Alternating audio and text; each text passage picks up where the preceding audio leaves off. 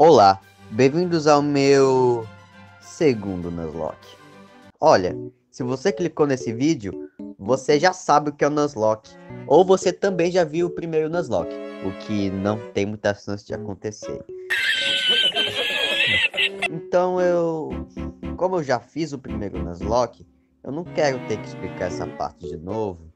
Vai ver o primeiro Nuzlocke. Você não precisa ver o primeiro Nuzlocke pra ver para ver esse vídeo, mas vai me ajudar muito se você for lá e ver o primeiro Nuzlocke e yeah.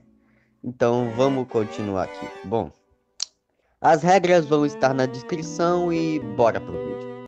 Eu, Salsicha, rival Fred. Escolhi o Bulbasaur de Repolini e derrotei o Fred na primeira batalha explorando o Teco.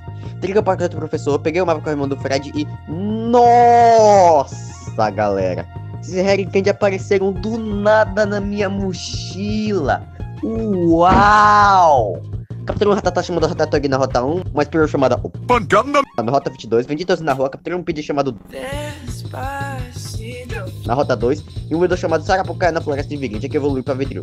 A Repolina destruiu o Brock e evoluiu dela para Ivysaur. Evoluiu Despacito para Pidgeotto, capturei um Endurance chamado Reinaldo na rota 3, comprei uma de capa chamada e troquei pela Pancanda evoluiu lá para Gyarados. Capturei um Geodude chamado The Rock no Monte Lui, achei uma Pedra da Lua e com ela evoluiu Reinaldo para Nidoking imediatamente. Destruição Ned do aniquilamento com a Repolina, troquei o Despacito pelo The Rock e mandei o Fred pra estratosfera.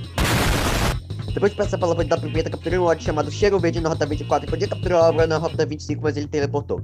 Ajudei o Bio e capturei um Meowth chamado Dio na rota 5, um Diglett chamado Terrudo no túnel do Diglett e um Echo chamado Netflix na rota 11. Fui para o barco desintegrar o Fred e pegar o HM Cut para depois enfrentar o Surge em que o Reinaldo derrota o Voltorb com o Diego e o Pikachu com o Trash. O Raichu em seguida quase morre para um Trash e é envenenado pelo pós-oposto o Reinaldo é paralisado pelo Static. Troco pra Repolina aqui os Elite e depois troco pro The Rock com o Rock Tomb e o dano do Elite Seed derrota Raichu e acaba a luta. Capturei o Voltorb chamado Redondinho na rota 10, uso o bate chamado Bruce no turno de pedra. O Reinaldo morreu no turno de pedra. O, o Reinaldo morreu no turno de pedra? Tinha me esquecido que magnitude atingia com o Dig. Eu queria usar ele na, na Elite dos 4 e eu ia capturar o Orgolaf na rota 7 quando ele usou War. Mas o da rota 8 foi um sucesso e tinha medo de Dog. Game Corner comprei um Abra chamado Megamente, evoluí o Doggy pro Arcanine e depois capturei uma Dodô chamado Nock. Depois peguei o Gamefly e incinerei a Erika com o Doggy. Logo em seguida, solando Giovanni com a Repolina, que aliás evolui pro Venusaur.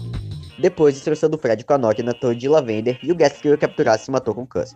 Peguei a Pokéflauta e depois capturei um Snorlax chamado Thaís Carlo na rota 12. Voltamos onde estávamos, mas agora vou ser um pouco mais cauteloso. Capturei uma Rossi chamada Cavala na rota 13, uma Poliwhirl chamada Cururu na rota 6 e uma Rhino chamada Peroso na Safari Zone. Não julguem minha escolha de nomes, nem eu sei o porquê. Peguei o HM Surf e depois de evoluir o The Rock e o Megamente de forma 100% legítimas e reabastecer em doces, o Megamente simplesmente solou o Koga, mesmo estando 3 níveis abaixo. Agora, hora da vingança contra o Fred. Ele começa com o Pidgeotto e eu com o Doguinho. Eu uso dois Flamethrower para derrotar o Pidgeotto e o Fred coloca o Gyarados em seguida. Troco para Repolina aqui com o Sleep Powder, Lich Seed e Giga Drain derrota o Gyarados facilmente. Execute vem em seguida e eu troco pra. Só acerta um Pursuit no ovo. Depois troco pro Megamente que derrota o Execute com um Psychic. O Alakazam do Fred é o próximo e depois de um Reflect que não sei porque usei, troco pra que derrota o Alakazam com 5 bates, sobrando 106 de HP contra o Charizard. Troco pro The Rock que sobrevive Future Sight e Wing Attack com 40 de HP. Rock Tomb erra depois de Smoke Screen. Usa o Rock Tomb de novo, sobrevivendo do Flamethrower com 2 de HP, acertando com o Rock Tomb e vencendo a batalha sem mortes. Depois disso, peguei o Lapra chamado A-Mine e derrotei o Giovanni facilmente com a Repolina e o Peguei a bola mestre do velho, lá ele, e peguei um Hitmonlee chamado Chutador em Safro. Depois, fui derrotar a Sabrina. O ginásio mais difícil. Começa com a Nokia ela com Cadabra, que morre para um Fly. Mr. Mime é o próximo e a Nokia erra um Fly. Uso o Fly de novo que tira um terço. Depois uso o Tri-Ataque que congela o Mr. Mime. Uso o Tri-Ataque de novo que derrota o Mr. Mime. E a Venomoth vem em seguida e morre para um único Fly. Alakazam é o último e eu uso Pursuit para quase nada de dano. Alakazam usa o Psychic e a Nokia sobrevive com 2 de HP. Troco pro The Rock que sobrevive com 5 de HP. E depois troco pro Megamente que depois de outra trocação de Recovery Psychic morre para um Psychic. a minha defesa especial tinha diminuído e eu, eu sabe, devia ter trocado Megamente ao invés de usar Recover. Como que eu posso ser tão burro? Coloco A. Que derrota Alakazam spamando Free Attack vencendo a luta com HP cheio. Eu queria usar o Megamente na Elite 4, mas agora não tem jeito. Dois pokémons que iriam pra liga caíram por burrice minha. Olha, rimou. Preciso improvisar alguma coisa, mas por enquanto capturo o tentáculo chamado Lula Molusco na rota 19, um Psyduck chamado Patolino na Siphon Islands, um Electabuzz chamado Bateria na Power Plant, peguei o HM Strength que eu tinha esquecido, uma Tangela chamada Vinheira na rota 21, um Aerodactyl chamado Forrena em Cinnabar e o Coffin que eu ia capturar na mansão explodindo na minha cara. Depois de upar meu time pro level cap, o Lula Molusco solo blame spamando surf. E depois de recusar o pedido do Bill para ele me levar para uma ilha paradisíaca no meio do nada com ele, lá ele, a Repolina e o Emine solam Giovanni. Ah, e o The Rock quase morreu, mas isso não é nada demais. Penúltima luta contra o Fred, eu começo com a Repolina e ele com o Pidgeot. Hum, troco pro The Rock, spamo Rock Tomb até o Pidgeot morrer. Execute vem em seguida e eu troco pro Forreno, que depois de errar dois flies, acerta o terceiro e mata o ovo podre. Gyarados vem em seguida e eu troco para Repolina, que o derrota facilmente com Sleep Powder, Lich Seed e Giga Drain. Alakazam vem em seguida e ele cai para 2 Strength, sobrando 49 de HP depois de um Psyche.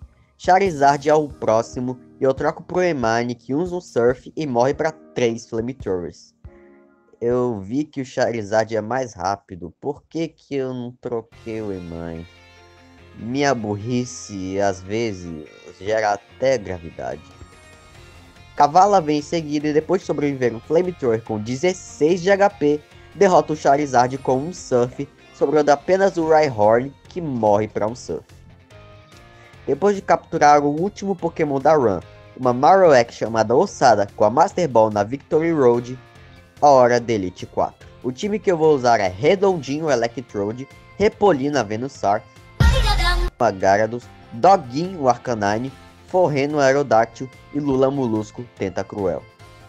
Contra a Lorelai, começo com Redondinho e ela com Dilgong. Uso 3 Thunderbolt depois de um Full Restore, tomando o Surf e derrota a Dilgong, com a Cluster vida em seguida. Um Thunderbolt derrota a Cluster e contra Slowbro um Thunderbolt crítico da conta do recado. Lapras é a penúltima que derrota com dois Thunderbolt e contra Jinx uso um Thunderbolt, levando um Ice Punch e sobrevivendo com 8 de HP. Depois troco pro Doguin, levo um Ice Punch e termina a batalha com um Flamethrower. Contra o Bruno, eu começo com a que usa dois Dragon Dances e derrota o Onius com um Earthquake, Hitmonchan com um Earthquake, Machamp com dois Earthquake, Hitmonlee com um Earthquake e o Onix 2 com Earthquake. E é por isso que dizem que Gyarados é o melhor Pokémon para Nuzlocke. Contra a Agatha começo com o Forreno, que derrota o Gengar com 2 Ancient Power, e depois contra Arbok uso 3 Ancient Power, com o terceiro dando o Omni Boost, mas morrendo para 2 Iron Tails. Lula Molusco vem seguir spamando Surf para derrotar Arbok Haunter. Troca por Redondinho que dorme com o Hipnosis, acorda no turno seguinte e usa dois Thunderbolt tomando Sludge Bomb, sobrando 3 de HP e ficando envenenado. Troco pra que derrota a Gengar com 2 Hydro Pump, o segundo sendo crítico. E com Golbat por último, uso 3 Strength para derrotá-lo, sobrando 93 de HP e terminando a luta. Eu fui bem sortudo nessa luta contra a Agatha. As coisas poderiam ter ido completamente na direção oposta. Espero que na luta contra o Lance não aconteça nada disso. Contra o Lance começa com o Dre redondinho e ele com Gyarados, usando o Thunderbolt para derrotar o Gyarados e o Dragonair vindo em seguida.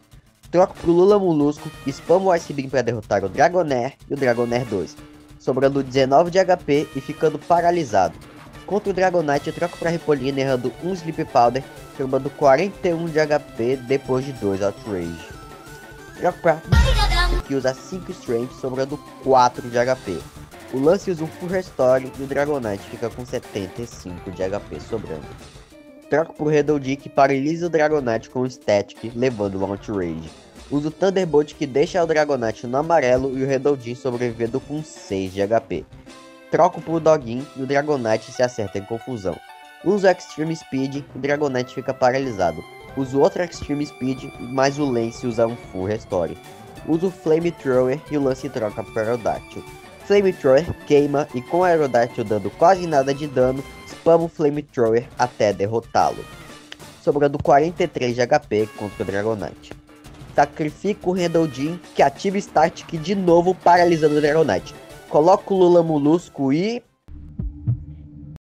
Ele não fica paralisado e usa um S-Beam crítico para terminar a luta. Aquilo que parecia impossível, aquilo que parecia não ter saída, aquilo que parecia ser minha morte. Meu Deus do céu, que luta foi essa? Eu, hein? Agora, a última batalha contra o Fred. Ele começa com o Pidgeot e eu com a...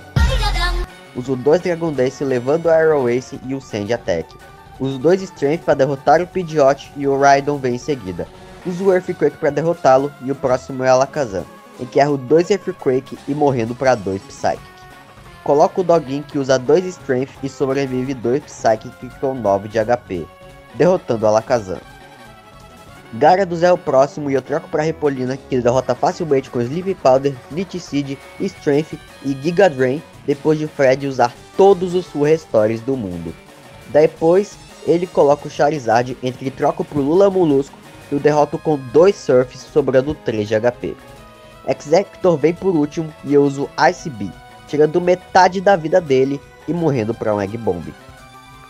Troco pro Drogin que acaba com o Executor com um Flamethrower acabando a luta e ganhando o Nuzlocke. Aquela luta contra o Lance foi pura sorte. Preciso ser mais cuidadoso nos meus próximos Nuzlockes. Enfim, deixa o like se você gostou do vídeo e não se esqueça de se inscrever se quiser ver mais vídeos como esse. Também deixa o um comentário aí me dando forças para eu ser menos burro no meu próximo Nuzlocke. Enfim, tchau.